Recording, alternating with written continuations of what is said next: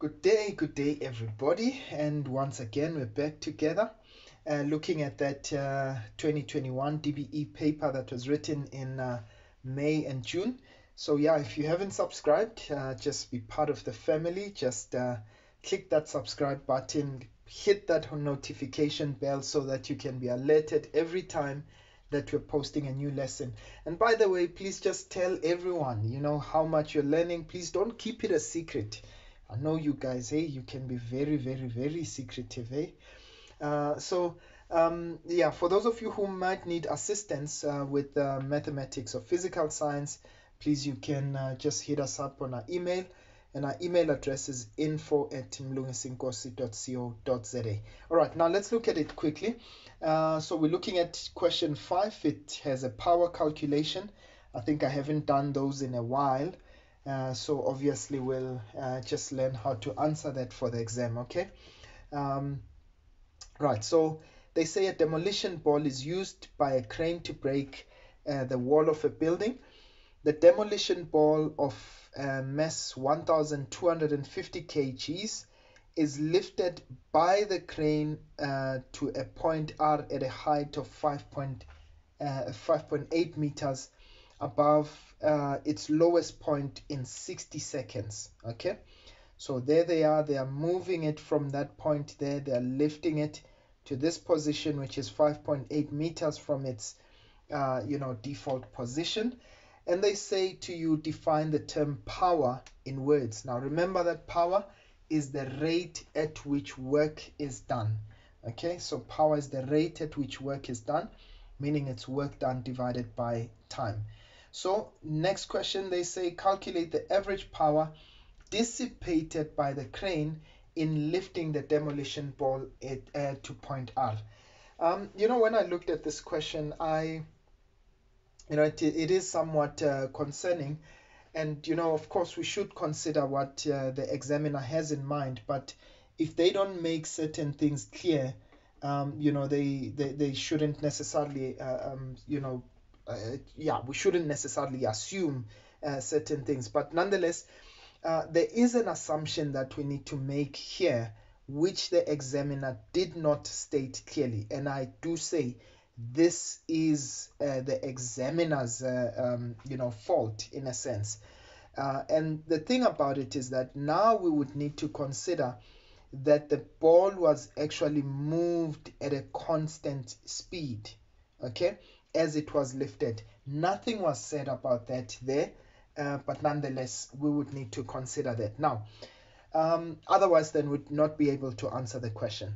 Right, now, uh, if you think um, if we lifted it at a constant speed, then it would mean that the only thing that was changed during the lifting of the ball was the position, the height.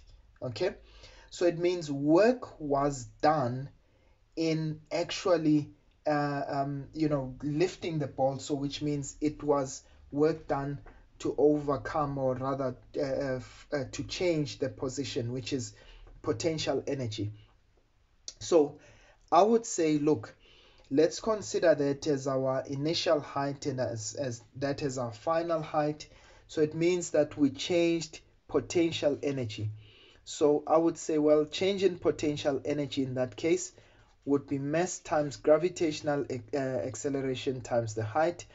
So the mass of the ball is 1250 multiplied by 9.8 multiplied by the height and the height that we're given there is 5.8 and in that case to change that potential energy say 1 2 uh, um, times 9.8 times 5.8 and I get a value of 71,050 joules.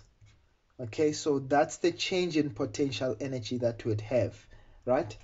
Um, if you wanted to, you could have also said from 0 to 5.8, you'd find that change to be negative, okay, um, in that case. So uh, then to calculate the power, because we know that power is work done divided by time, the change in time. But remember, what type of work did we do? We changed potential energy okay and divide that by time and so in this case it would be that 71,050 uh, divided by we're given the time to be 60 seconds and if we divide that by 60 I get a power um, uh, the power dissipated would be 1184.17 joules uh, sorry watts. Uh, so those would be watts of power okay? So those would that would be 1184 watts of power. Right now considering the next question okay? Uh, now they tell us that the demolition ball is released from point R okay and strikes the wall uh, at the lowest point uh, of its swing. Uh, they say the ball then moves 0.25 meters horizontally okay into the wall um, before coming to rest. All right we'll talk about that in just a few. Right now they tell us define the term conservative force. Now remember that a conservative force these are forces whose work done does not depend on the path taken. Okay so in that case um, yeah that's the definition. And then they are asking us is the force with which the ball exerts on the um, oh yeah on on the ball is it uh, the wall exerts rather on the ball is it conservative or non-conservative?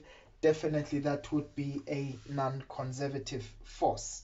Okay right so um, they say state the energy conversion right uh, that takes place during the downward swing of the ball. Now please remember as it was swinging uh, we had gravitational potential energy there. But as it goes down what's happening? It's actually gaining speed.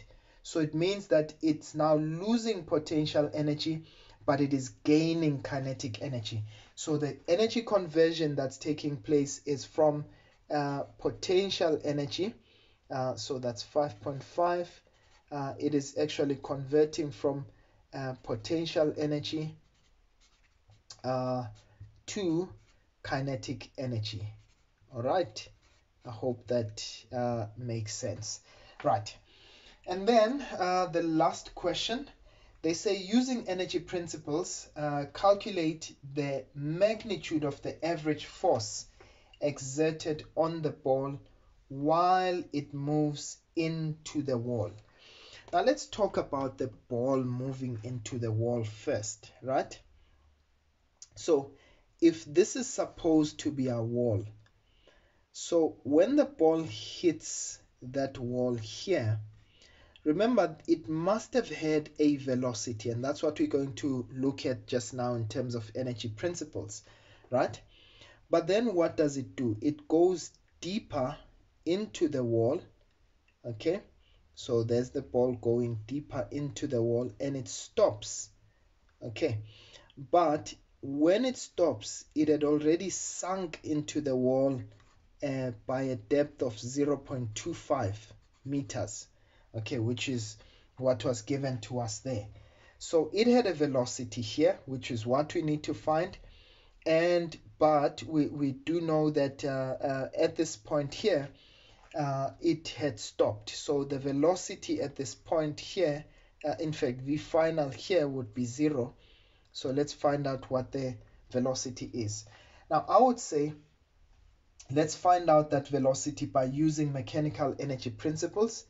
So I'd say, well, at 5.6, I know that the mechanical energy at point R should be equal to the mechanical energy, uh, let's just say at the wall, okay, when it arrived at the wall, okay? Right, now remember it was released at that point with an initial uh, velocity of zero. So it means that the kinetic energy, so remember mechanical energy is kinetic energy plus potential energy, right? Um, fortunately, we had already calculated that potential energy there that was given, okay? And we know that when it gets to this point, the default position here it has lost all that potential energy but it converted all of it into kinetic energy. I suppose that's the reason why they asked us the previous question. So we know we've got EP plus EK uh, on the wall, okay, but we know we've lost some of that. Uh, uh, I mean, not some of it. We've we've lost uh, all of that potential energy, right? So this is at point R. Now we know that in this case it means at point R we've got potential energy, but our kinetic energy is zero because we started with an initial velocity of zero. So uh, we already had that uh, potential energy, that's 71050. Okay, um, uh, the kinetic energy was zero. Okay, and in this case, uh, the potential energy at point uh, when it went uh, when it arrived at the wall the potential energy is zero. Remember, we are comparing it. Uh, in this case, we're taking that as our default position because the ball would actually remain at that point, right? Uh, plus uh, the kinetic energy. So we're looking for that velocity. We're looking for that speed there. So that would be a half of 1250. Oh, sorry that I'm squeezing there uh, vf squared. So obviously now what we just need to do uh, is just get that velocity there. Um, okay, so I would say, okay, I get that speed to be uh, vf is 10.66 meters per second okay? So what we can do is now we can find out what that acceleration the type of acceleration that uh, the ball experienced uh, at that point. Actually there is a uh, there is another way uh, that we, we we actually could have uh, done this. So I'll, I'll actually show it to you just now. Um, so I can find out what the acceleration is. I think this really uh, was a, a long way um, so we can say, well, look, we can find the acceleration there and then find the net force. Uh, we can say Vf is equals to Vi plus A delta T. Okay, so um, our final velocity, remember when it went in there, the final velocity became zero. The initial velocity was that 10.66 over there. Okay. Um, and we want the acceleration. Or in fact we don't even have uh, you know that that time. Um, in fact you know what? I would actually ditch this okay? Uh, so uh, yeah. So the one that you would uh, probably just go for is vf squared. Sorry about that. So vf squared is equals to vi squared uh, plus 2 times a delta x okay so you're looking for the acceleration, you'd say 0 squared, that's 10.66 uh, squared. Okay. All right, sorry, um, uh, that's a very ugly, untidy handwriting. So that's two times the acceleration, but I know that the depth was 0.25. Okay, so let's find that acceleration quickly so I get uh, so if I square that um, and I divide by 2 times 0.25 which is 0.5 and I get a value of negative oh that's a huge acceleration. That's negative 227.36 uh, meters per second squared. I mean it would make sense to stop a ball that big uh, it, it would really take a massive acceleration. And then what you would do is, uh, I hope you don't mind, uh, uh you know, I'll, I'll just uh, move over to this side uh, just to finish up that question. perhaps maybe let me not close everything there. Yeah, so what we would do is obviously then find the net force, right? So I would say, well, to get the net force, it's MA because that's what uh, they were looking for, the average force, right? um, the mass is a thousand two hundred and fifty okay uh, so it's a thousand two hundred and fifty and you multiply it by the acceleration which is minus 227.36 okay right uh, so I get a value of 20 284,200 uh, joules. Uh, uh, sorry newtons uh, of force uh, that would be exerted. Look I, I, just want us to kind of explore the other method uh, just to see how we would actually answer this question. Um, you know using just strictly energy principles. So what we did here is that we used three we used energy principles mechanical energy then we went into equations of motion and then newton's laws right but um, actually if you think about it I know that the mechanical energy is the same. So it means the gravitational potential energy at that point should be equal to the kinetic energy at this point here. Okay? So if you think about the kinetic energy, the change in kinetic energy, out of the kinetic energy before and the kinetic energy after. So if we consider this to be the wall, so the kinetic energy just before the ball hits there should be the one that we got at that point, which was uh, 71050. Okay, we did say it is the same uh, in that case. So it means that the kinetic energy here should be 71050 uh, joules. Now, then the ball goes into the wall okay a distance of 0.25 meters okay but then it comes to a halt so in this case what should be the kinetic energy at this point here so I'm going to call it kinetic energy final of course because it stops means the kinetic energy is zero there right so I would say well let's use the work energy theorem so the net work done is equal to the change in kinetic energy. In fact, I would really, um, you know, recommend that you go for this option than rather than the first one that I did. Okay, so but I know that Fnet times delta x. Okay, because I'm looking for Fnet, that's why I'm actually changing it to that. Fnet times delta x, the cos of uh, theta is equal to the change. Now remember my kinetic energy final is 0 minus that kinetic energy initial which is minus 7, uh, 71050. Okay, so I'm looking for the net force. But remember, what was my displacement? My displacement was 0.25, isn't it? So that's 0.25. Okay, the cos of. Now, if you think about it, the ball is going that way. Uh, so the wall must be exerting a force in the opposite direction, isn't it? So this should be the cos of 180. Okay, remember we said this is the angle between direction of motion and the force in question, right?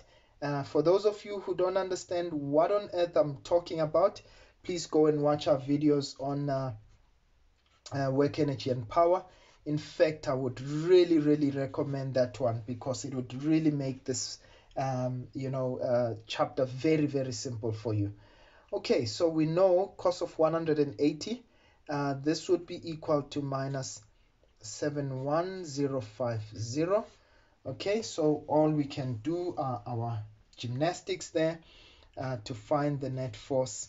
And we find exactly it should be exactly the same answer that we got before.